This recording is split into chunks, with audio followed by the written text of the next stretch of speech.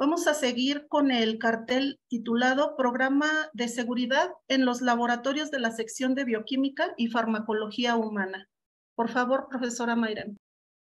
Presentamos a Alejandra Sánchez Barrera, Ángel Raigosa Trejo y un servidor Luis Alberto Parra Oaxaca, el trabajo titulado Programa de Seguridad en los Laboratorios de la Sección de Bioquímica y Farmacología Humana. Como introducción, podemos hacer la siguiente pregunta. ¿Por qué, se, ¿por qué surge este trabajo?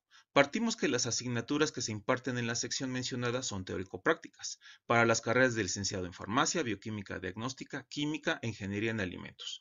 Los laboratorios de la sección están dentro de un sistema de calidad, pero se ha dejado de lado que por el tipo de actividad que se desarrolla en cuanto a uso y manejo de reactivos químicos, es de carácter obligatorio y ético la aplicación de normativa oficial vigente en la cual se contempla una serie de acciones y documentación a aplicar para reforzar la seguridad de las personas que laboran o asisten en lugares donde se usan reactivos químicos. Específicamente nos referimos a la NOM 018 STPS 2015, que trata del sistema armonizado para la identificación y comunicación de peligros y riesgos por sustancias químicas peligrosas en los centros de trabajo, apoyándose también en el presente trabajo en otras normas y sistemas que complementan estos aspectos de seguridad.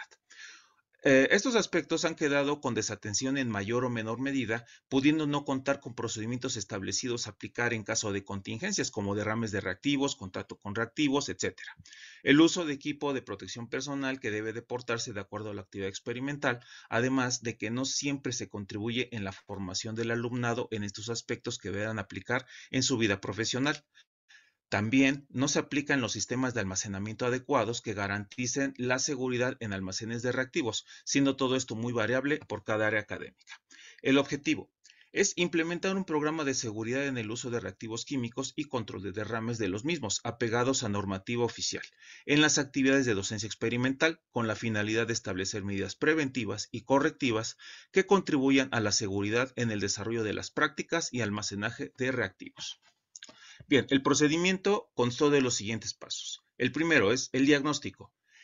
En este, en este, apartado se realizó la revisión de inventario y diagnóstico de condiciones de almacenamiento de reactivos, revisión de métodos de preparación de soluciones por asignatura, revisión de estado de materiales y equipo de protección existente en almacenes y laboratorios y el uso de equipo de protección personal con respecto a actividades desarrolladas. El segundo paso fue analizar esos datos. El tercero, las acciones a aplicar que esas las voy a comentar en resultados. Y el cuatro, una evaluación y retroalimentación, ya que es un sistema cíclico eh, que obviamente puede ir cambiando y mejorándose eh, en, cada, en, cada, en cada semestre con la contribución de la comunidad eh, académica y estudiantil también en un momento dado. Bien, los resultados.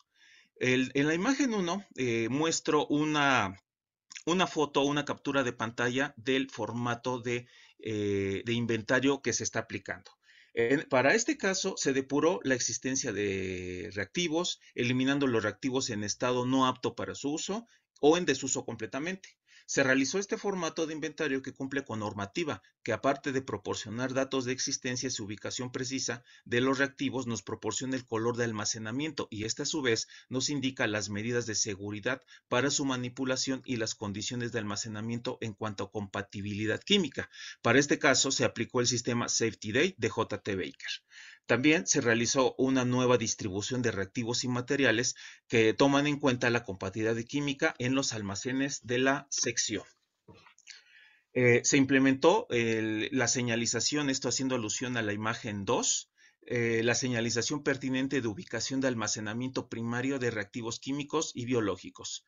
Eh, se revisa de manera constante también esta señalización y estado de equipo y materiales de seguridad, contribuyendo con la Comisión Local de Seguridad para el caso de la existencia y contenido de botiquines, condiciones de extintores, mata contra incendios, etc. También, haciendo alusión a la imagen 3, se implementó una gaveta con materiales de seguridad específicamente para contención de derrames de reactivos químicos en cada laboratorio, que también incluyen un instructivo de uso. Y se lleva a cabo también la comunicación del sistema a docentes y laboratoristas. Las conclusiones del trabajo es que se implementó un programa de seguridad en laboratorios de docencia experimental que contempla acciones preventivas y correctivas para el adecuado manejo de reactivos químicos en almacenes y prácticas de laboratorio y el sistema es extrapolable a otros laboratorios de docencia experimental e investigación que utilicen reactivos químicos. Gracias por su atención. Muy bien. ¿Se encuentra presente la doctora Rosa Navarrete? Maya. Sí, buenas tardes. Buenas tardes, doctora. Adelante con sus dudas o comentarios. Sí, buenas tardes. Eh, bueno, quisiera primero comentar acerca del título. Eh, nos menciona que es un programa de seguridad en los laboratorios de, de, la sección de bioquímica y farmacología humana. Sin embargo, si vamos al objetivo, pues se enfocaron principalmente al, uso, al almacenamiento y uso de reactivos tal vez sería conveniente que el título hubiera sido referido específicamente a esta, a esta parte del, cartel. Y también, este, bueno, considerando un poco lo de los textos, pues tal vez colocar el título en altas y bajas, no totalmente en, mayúsculas, pero no sé qué opine, profesor. Este, sí, eh, se extrapola un poco más al, manejo de todo lo que son la seguridad del, del, almacenamiento de reactivos, porque también como las gavetas de materiales de seguridad están distribuidas en todos los laboratorios y este tipo de señalización, este, a lo mejor ahí eh, eh, faltó, no sé, correlacionarlo más con respecto al, al, título o, o, algo así, pero o sea, sí, sí va más allá nada más de, del almacenamiento de reactivos, sino también es extrapolable a todo esto porque como se mencionaba, eh, como se asignan colores de acuerdo a estos colores, de, acuerdo al sistema JT Baker, entonces eso hace alusión al equipo de protección personal que deben de tener alumnos y profesores almacenar cada uno de estos. Eh, también en las hojas, en, perdón, en las gavetas estas de seguridad están contenidas las hojas de datos de seguridad de cada uno de los reactivos que usan o que se usan. Entonces todo esto eh, hace conjunto a que se extrapola también a, la seguridad del usuario, porque se brindan las instrucciones de acuerdo a esto. Y obviamente esto se dio a conocer en, cursos de capacitación cortos, rápidos, tanto a profesores como laboratoristas. Y como estamos dentro del sistema de gestión de calidad, en la plática introductoria de cada semestre, en todas las asignaturas que se dan en los grupos, este, que, bueno, en los grupos de alumnos que se inscriben, también se les da una plática a los alumnos sobre esto para, para hacer todo, todo este sistema. Bueno, este, sí, con relación al formato que presenta, eh, se marcan los colores de riesgo. Eh, pienso que la columna de riesgo es algo muy, muy importante que, que podría resaltarse un poco más. Ustedes indican al, eh, abajo la, este, el significado de cada una de las letras de, este, de riesgo, pero hay una numeración sin embargo, no se indica cuál es el, el, número que corresponde al mayor riesgo, solamente se marca 0, 1, etcétera. Y este, pues eso yo creo que sería muy importante. Y aunado a esto, aprovecho para mencionar eh, un poquito sobre el diseño.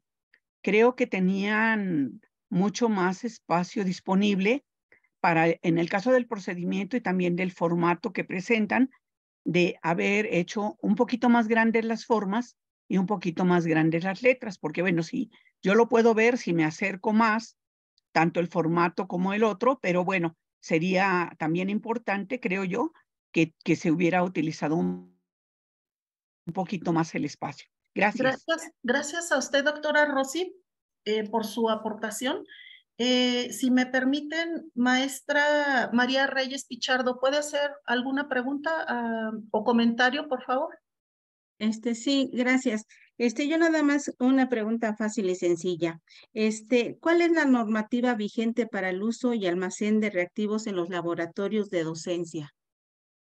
Bueno, no específicamente de docencia, o sea, se aplica a cualquier tipo de almacenamiento o a cualquier lugar, perdón, que funja como almacén de reactivos, ya sea de una industria, de una eh, de un laboratorio cualquiera sin importar el giro, que es la NOM 018 de la Secretaría del Trabajo y Previsión Social, es, y, la, y la última revisión es la 2015, es la que está vigente y es la que dicta todo, eh, todos los aspectos de almacenamiento, de codificación de seguridad, contenido de inventarios, contenido de hojas de datos de seguridad, etc.